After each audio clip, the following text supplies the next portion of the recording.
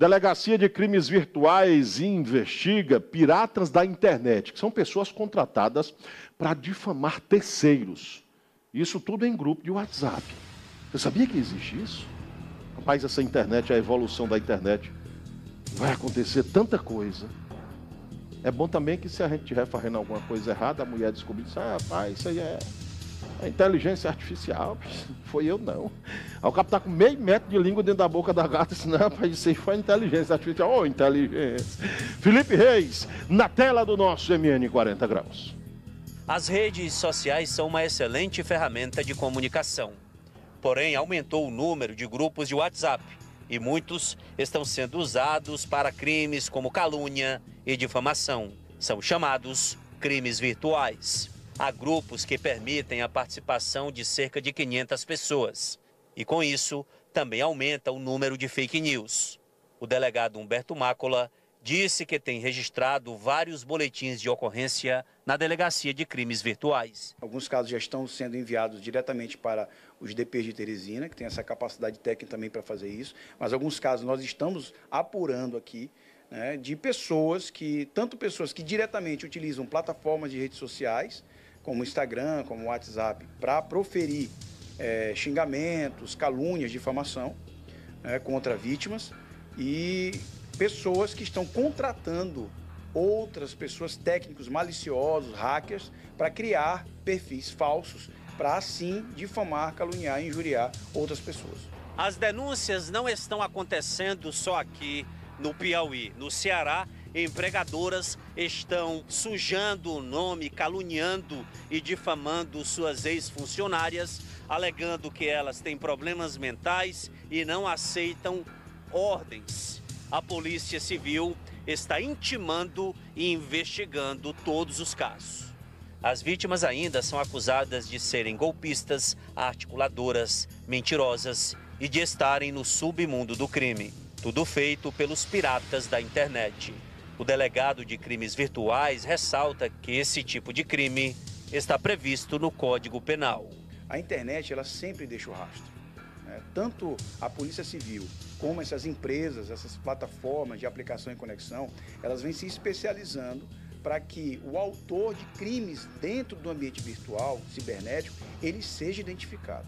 Então, uma vez identificado, essa pessoa é chamada à delegacia, certo? Para prestar os esclarecimentos, prestar o interrogatório, é, dizer sua versão dos fatos e, se for realmente comprovado, ela realmente fez aquilo com uma autoria indireta ou uma autoria indireta, ela pode ser indiciada por esses crimes de injúria, calúnia, difamação.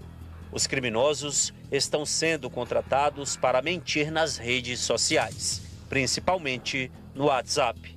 A Polícia Civil do Piauí está em alerta e pede às vítimas que denunciem os casos para o início de cada investigação. Já tivemos casos, inclusive, que essa pessoa foi demitida porque a empresa recebeu essa, essa, essa informação falsa, né? E é, pessoas que são prejudicadas, inclusive, para conseguir emprego. Né? Então, é, chegamos até a autoria, a pessoa foi chamada, né? prestou esclarecimento, negou a situação, né? mas nós temos provas já suficientes contra ela. Este sociólogo disse que os crimes de ódio na internet estão se multiplicando e que a sociedade precisa combater este tipo de violência. Os crimes de ódio na internet, eles estão se multiplicando. E a ideia, basicamente, é que a internet é uma terra de ninguém. É uma terra em que o crime compensa, em que ações podem ser feitas e escondidas através de um perfil anônimo, através de um perfil fake, através de um robô. E isso é extremamente perigoso e violento a partir do momento em que a gente está inserido em contextos de violência, né, presencialmente, e que a gente está nesse período também de violência no meio virtual. É necessário que nossa sociedade possa compreender, possa combater, possa debater ideias para, de certa forma, frear essas ações que estão se multiplicando, que foram extremamente assíduas no período da eleição, que tende a se multiplicar nos próximos anos se alguma ação não for feita. Há nove anos, a dona de casa, Fabiane Maria de Jesus, de 33 anos, foi vítima de um boato nas redes sociais e acabou espancada até a morte.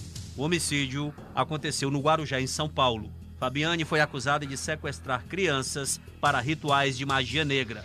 Muitas pessoas, ao serem vítimas de calúnia e difamação, sofrem sérios danos psicológicos. Normalmente ela pode desencadear quadros psicológicos bastante graves, uma vez que essas emoções elas são amplificadas quando na rede social.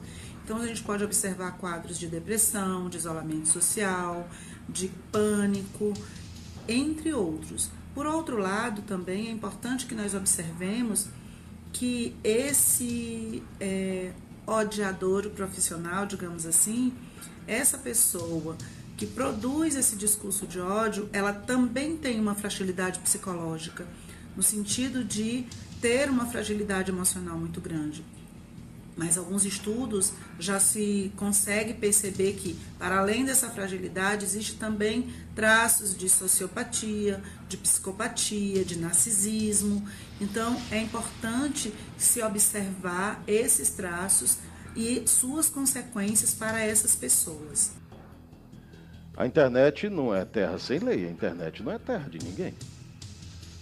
Prova viva sou eu. O cara me ameaçou pela internet, Cinco minutos depois, ele deletou a página dele do Instagram, não tinha mais nada, mas a polícia foi atrás e chamou